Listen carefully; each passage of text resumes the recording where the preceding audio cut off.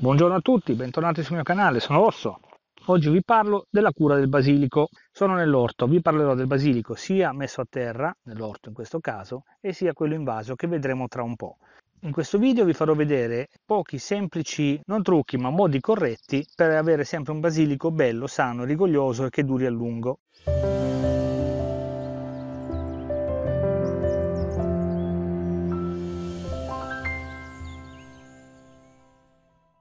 Scelto non per caso questo gruppo di piantine di basilico che sono già in fiore. Questa è la prima cosa di cui voglio parlarvi e per questo ho scelto questo insieme di piante. Allora, queste le ho messe a dimora un mesetto fa. Piccola premessa, le foglie che vedete eh, di questo colore biancastro è perché hanno beneficiato del trissi di prodotti tannino di castagno, bentonite e caolino, l'ho dato ai pomodori che sono qui vicino e, e ne hanno beneficiato anche loro, quindi male non li fa e polvere di roccia, queste poi si raccoglie semplicemente e si sciacqua sotto l'acqua.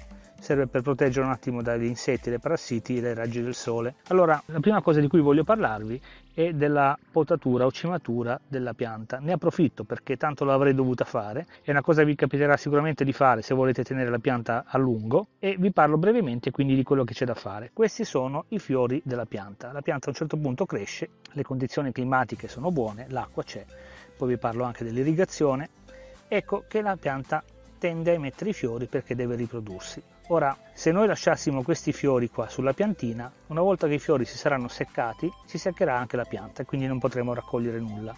Il segreto, uno dei segreti per tenere la pianta più a lungo è quello di cimare la pianta, ovvero togliere i fiori che fa periodicamente e li emette di continuo, quindi bisogna starci dietro. Semplicemente con l'unghia si tolgono, eccoli qua.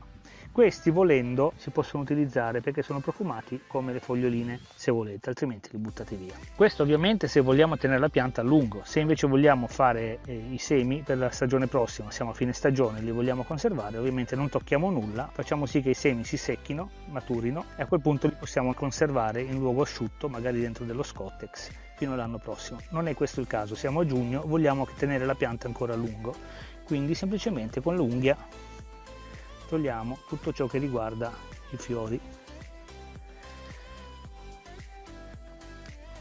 Togliendo i fiori la pianta è stimolata a emettere nuovi getti alla base. Quindi avremo un cespuglio più grande. Qui avevo trapiantato un gruppo di piantine sono 5-6 piantine anche di più. Volevo fare qualcosa di folto una coltivazione un pochino più accentuata.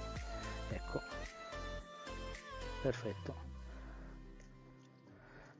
benissimo. Seconda cosa da fare tenerla pulita dalle infestanti. Questa non l'ho tolta apposta guardate. Sono le erbe che arrivano le erbe infestanti che arrivano da altre parti dell'orto. Ovviamente in vaso il problema è meno accentuato ma nell'orto si sente parecchio. Eccolo qui. Bisogna togliere tutto.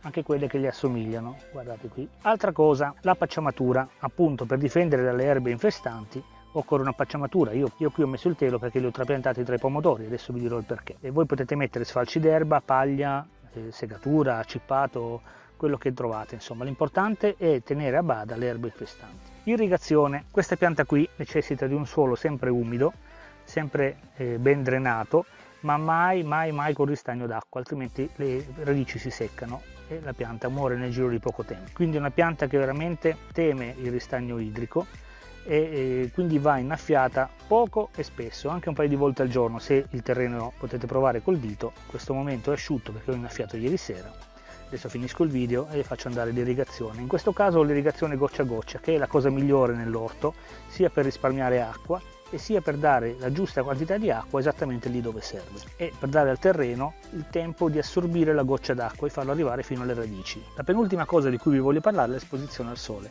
Questa pianta teme i raggi solari diretti. Ecco perché va benissimo in consociazione con i pomodori, perché il pomodoro è una pianta che viene su alta. Ecco, guardate, questa è la situazione ideale. Lei ha qualche raggio di sole diretto, ma poca roba, ovviamente in base a poi come gira il sole, ma gode di un'ombra preziosissima dovuta da questa pianta di pomodoro eccola qui. Per contro, la pianta di pomodoro sfrutta il profumo del basilico che non è apprezzato da alcuni insetti e quindi li tiene lontani. È una consociazione vincente. Io sono due o tre anni che la faccio e mi trovo molto bene, quindi vi consiglio di farla anche voi se avete l'orto. L'ultima cosa di cui voglio parlare per quanto riguarda il basilico qui nell'orto è la raccolta, ma questo varrà anche per quelle invaso. Se dovete raccogliere le foglioline, si raccolgono sempre quelle sopra, quelle più alte, ad esempio in questo caso eccole qua. Non si staccano quelle laterali, si prendono quelle di sopra, così la pianta è incentivata a emettere nuovi getti laterali. Se voi togliete le foglie laterali, sono anche belle eh, per carità, la pianta tende a venire su alta, esile e non è ciò che vogliamo. Prendiamo ciò che ci serve. Io adesso non ho le forbici dietro, ma ecco qua. Queste sono le nostre foglie per il sugo. Ci spostiamo e vediamo la cura del basilico in vaso. Allora, questo è il basilico invaso che abbiamo trapiantato un po' di tempo fa. Non è bellissimo. Vi voglio far vedere alcuni errori che abbiamo commesso e che onestamente non ho corretto apposta perché volevo farvi vedere i danni causati da questi errori, altrimenti era troppo facile. Manca terreno, quindi ogni tanto va aggiunto del terreno nuovo perché vedete ci sono le radici fuori. Era esposto in zona non troppo soleggiata ma molto più che nell'orto e quindi abbiamo alcune foglie bruciate, eccole qui, vedete? E anche questo necessita di una operazione di cimatura dei fiori, eccole qua. Questi come vi dicevo, se volete, sono commestibili.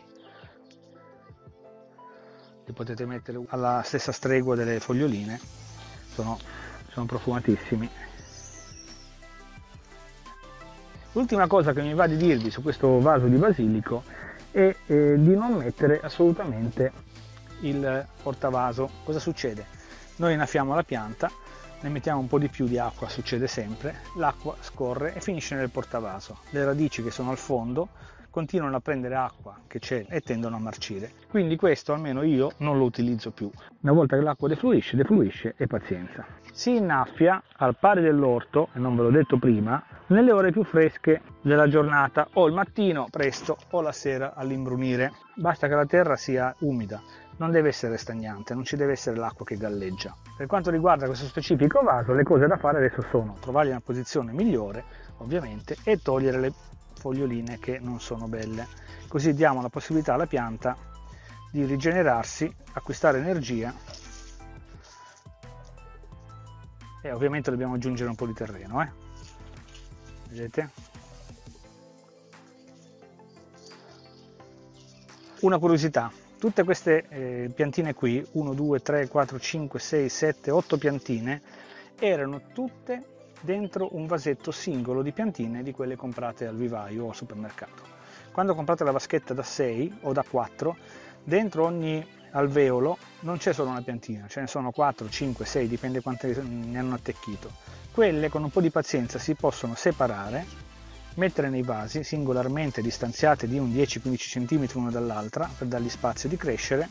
Qui abbiamo sbagliato perché ci vorrebbe un pochino di terra in più, in realtà c'era ma poi si è abbassata non l'abbiamo aggiunta e quindi da un singolo alveolo vengono fuori 4-5 piantine. Se voi immaginate da 4-6 alveoli vengono subito fuori 20, 24, 30 piantine. Ogni confezione da 4 se non sbaglio costa 2,50 euro fatevi il conto dei soldi che si possono risparmiare semplicemente suddividendoli così è una pianta che dura molto dura a lungo se si tratta bene dura anche tutta l'estate. Se invece non si seguono questi pochi consigli l'irrigazione la cimatura l'esposizione solare e il, il portavaso sotto è una pianta che dura 15-20 giorni e poi la si butta via e se ne compra un'altra ed è un peccato. Spero di avervi dato qualche consiglio utile su queste piantine qui. Sono veramente profumate, sono uno spettacolo da avere vicino casa, si possono utilizzare ovviamente per i sughi, per le conserve, noi lo utilizziamo parecchio, facciamo la conserva, guai a non averne, abbiamo 4-5 vasi grandi molto più di questo, ma soprattutto nell'orto c'è una cinquantina di piante intervallate di pomodori come vi ho fatto vedere perché mi serve appunto come consociazione. Se volete farmi qualche domanda sulla cura del basilico vi rispondo molto volentieri, se volete dire voi qualcosa a me che magari mi è sfuggito scrivetelo pure, ve ne sono grato. Spero di esservi stato utile, se vi è piaciuto il video volete lasciare un like o se magari vi volete iscrivere vi ringrazio, vi auguro una buona giornata, ci vediamo giovedì prossimo.